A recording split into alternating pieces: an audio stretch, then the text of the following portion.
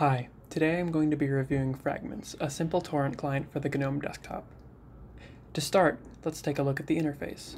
Fragments follows the GNOME Human Interface Guidelines really well, and as such will already feel very familiar to anyone used to using other GNOME apps.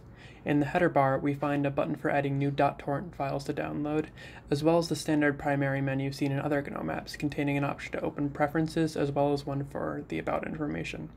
In the aforementioned preferences menu, we'll only find three options, a toggleable dark mode, an option for where you'd like downloaded files to go, and an option to change the maximum number of parallel downloads.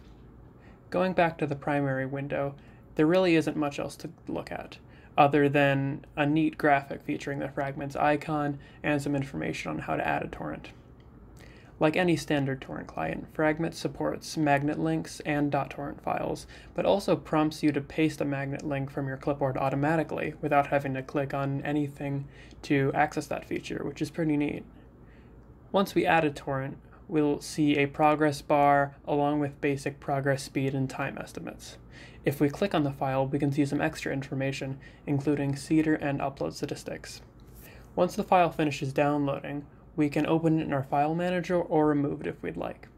But that really is pretty much it when it comes to fragments. Like I said at the start of the review, this is a really simple torrent client. While that may sound like a criticism, to me it really isn't. Fragments does what it does really well, and by leaving out a lot of the more esoteric features common in other torrent clients, it creates a great user experience that gets the job done.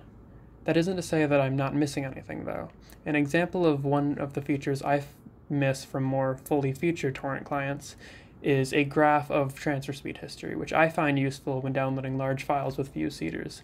Overall, though, I highly recommend Fragments to anyone looking for a straightforward way to download torrents without anything getting in the way. If you'd like to try it out for yourself, Fragments is available as a Flatpak through FlatHub, which I'll leave a link to in the video description. Also in the description, you'll find a link to the project's GitLab page if you'd like to get involved or learn more. Thank you all for watching, and I'll see you in the next video.